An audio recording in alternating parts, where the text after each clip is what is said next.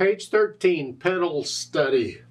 In this page, they're introducing you to the pedal, one of the pedals. Let's talk pedals for just a bit. Life just got interesting here. Pianos over the years have had anywhere from one to five pedals, I think. I don't know. Generally anymore on acoustic pianos, you'll see two or three pedals on If you have an electronic keyboard, electronic piano, chances are you only have one pedal. If you have a pedal at all, it'd be one pedal. And that is the pedal we're going to study here. So if you're good to go, if you've got an electronic keyboard, you're fine, assuming you have a pedal. Not all electronic keyboards have a port, I guess, for a pedal, but if yours does have a port for a pedal and you don't have a pedal, then I encourage you to buy a pedal, they don't cost that much, and use it. Plug it in and use it. Otherwise, you can't really practice the pedal study.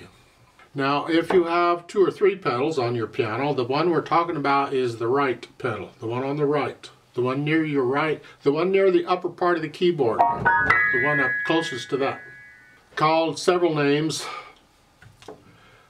Damper pedal, sustaining pedal, loud pedal, I don't know, I call it a few other names we won't mention in polite company, but okay. I don't like calling it the loud pedal because that's a little bit misleading. But I, damper pedal or sustaining pedal. The reason is because the dampers are those things that on are against the strings to keep the strings from vibrating. Vibrating. So when you press a key, the damper for that string comes off the string so the key can vibrate, but when you release the key, the damper goes back on the string so it stops. Those are dampers, so it's called a damper pedal because it works those. It raises them all up and it lowers them all down. Well, that causes all kinds of interesting things to happen. It's called a sustaining pedal because it sustains the note. Uh, you can press a key down in the pedal and then you can lift the key up and the note sustains or it keeps ringing out. So it's called a sustaining pedal too. Called a legato pedal sometimes because that's actually more of a technique of pedaling than the name of the pedal itself. Well, so much for my rant on pedals. There's a number of different musical notations for the pedal. You'll run across them from time to time. The one they're showing in this book is the most common. And the one they're showing you first is the line goes down. This is below the bottom staff. The line goes down, and it goes across, then it comes up. In theory, when the line goes down, you push the pedal down, and you hold it down all the time the line is across, and then when the line goes up, you lift the pedal up. So first, let's get the notes and the rhythms of this, because when I use a pedal in a piece, I always add the pedal last, because as I say, when I learn a piece, I have a particular order I like to do things in, like we've been using the order. You get the notes and the rhythms and the fingering first, and then we go back and add the articulation, the staccatos and accents and that stuff. And then I go back and add the dynamics, so I'm gradually building it up. Well, after all of that, then I add the pedal. So I always learn a piece without pedal first because I want to hear clearly what the fingers are doing because the pedal tends to cover things up. Uh-uh. I'm not going to change my finger technique because I'm using the pedal. Uh-uh. So first let's do this. We can just broken chords. I'm going to take both hands at one time here because it kind of it's just a broken chord. So we have a half note here and then a C chord. And then the treble clef, the left hand comes over to play the C. Here, so it's one and two and three. Now you can't hold the half note down because you got to come over here. Okay? In theory you would. So hold it down as long as you can. And then down here. And you just come through. It's an F. So go through and play this. Make sure you can play it okay. Second line, last measure. Remember that two ledger lines above the treble clef is a high, high C. Just know that note. Now in the third line, then we get an F sharp.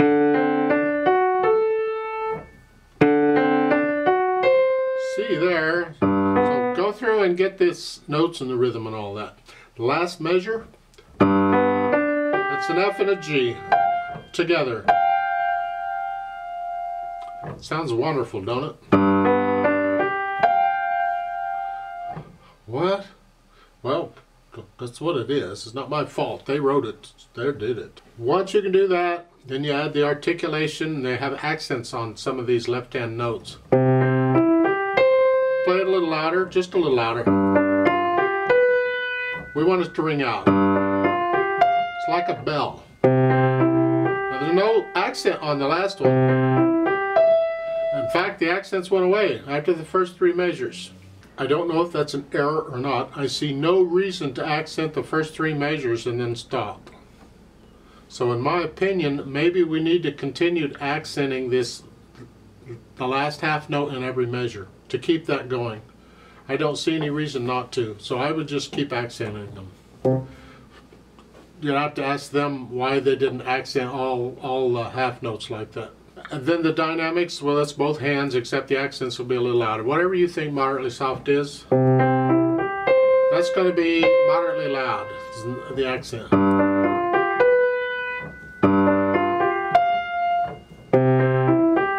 I'd keep putting in the accents.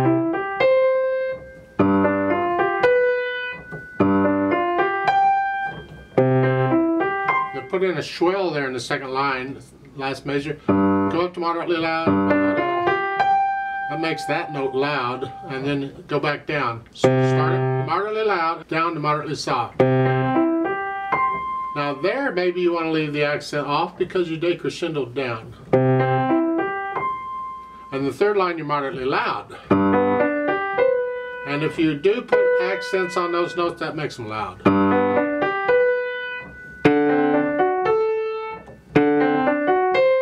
So forth. You can try that. There's a poco rit at the end. That's so you can enjoy that a lot longer because they also put a fermata over it, which means you hang on to that and make everybody endure that noise a little longer. Okay. Then once I have all that, then I add the pedal because I want to make sure my fingers are doing the right things first. And what I'm going to do, there's there's different pedaling techniques and I teach the techniques as we go through the pieces. Whatever I think is needed for that piece that's the technique I teach we're going to start with the most common and that's the lag pedaling and that means the pedal lags behind the hand. They don't happen at the same time. So I'm going to push the note down first and then the pedal. And then I lift the pedal up with the hands the end of each measure. So there's a little silence before I go on.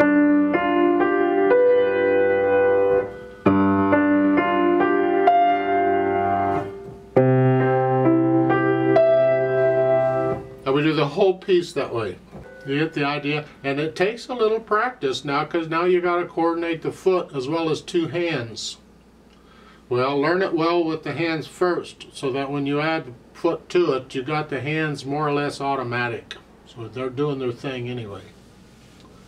And that's what we're doing here. Now we'll change that a little bit later. Right now that's what we're doing. Speed-wise, well, Moderato's in the middle somewhere. It, it's up to you. What you think Moderato is, it has to be accurate, so it's it's whatever. I think that's about a Moderato. To me, maybe that's fast to you. Maybe you want to slow it down. That's fine if if that's your Moderato. Right. Uh, everybody's a little different. Yeah.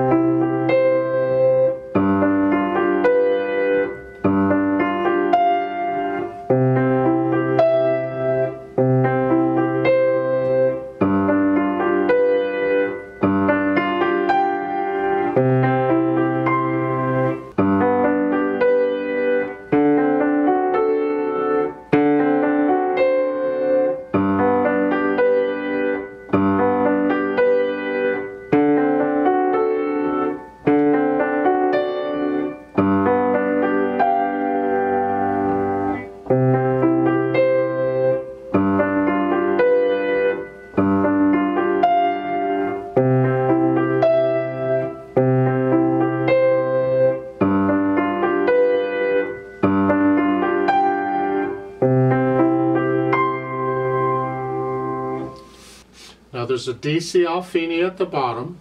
Remember, DC means go back to the beginning. Al- Alfine means go to fine, and the fine is at the end of the second line. Again, I disagree with their music, the way they've written it, because they have a double bar line there at the fine, and in my opinion, that should be a thin and thick bar line, because that's the end of a piece symbol, and that's where the piece ends. May not end there the first time you go through it, but it ends there eventually. So it doesn't really affect how we play it. You just go through, you play all four lines, and then go back and play the first two lines again. That's all. And I tend to put in a retard at the fine. So when, it, when I'm done and I'm finishing it up, I just want to slow down a little bit. It's the end of a piece. That's part of interpretation. The music doesn't say to, and you don't want to do that all the time. But in this piece, it just made it feel right to slow down a little bit. Now I'd like to play it with you very slowly. I'm not going to do the dynamics. I will do the pedaling. And we'll do the DC al Fine and the whole bit. So I'll give us four counts. Let's just go it slowly together.